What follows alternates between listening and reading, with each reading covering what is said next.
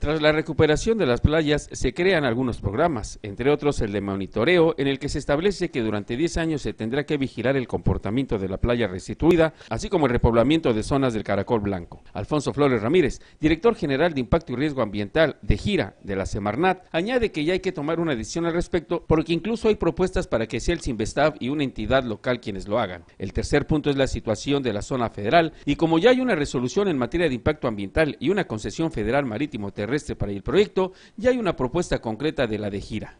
Desarrollar un instrumento jurídico, el más idóneo, llámese un decreto de zona de restauración, llámese una concesión X o Y, para evitar nuevamente la instalación de edificaciones fijas dentro de la zona federal, dado que eso estaría afectando la propia dinámica de la recuperación de la playa. Por tanto, la SOFEMAT no otorgará más permisos para establecimientos fijos, pero sí para estructuras temporales como puestos y palapas, con el compromiso de removerlas cada tres semanas para hacer una revisión del terreno. También ver la posibilidad de que cualquier particular o ente privado ya pueda denunciar de manera formal la instalación de asentamientos irregulares a la Procuraduría Federal de Protección al Ambiente, la Profepa. Al término de una kilométrica sesión de más de dos horas del Fideicomiso de Recuperación de Playas, Mario Castro Basto, secretario de Infraestructura, informa que se aprobó recontratar a las CFE por seis meses más y cuatro millones. El gobierno Estado aprobó nueve, millones de pesos más, que es la tablita que se presentó ahí. Los nueve millones son para pagar a la CFE, para pagar al IMTA, para pagar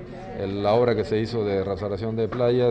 La parte académica del proyecto de vigilancia estará a cargo de profesionistas e investigadores de la Universidad de Quintana Roo. Detrás de la cámara, Jonathan Díaz, en el micrófono. Para Notivisión, Carlos Águila Arreola.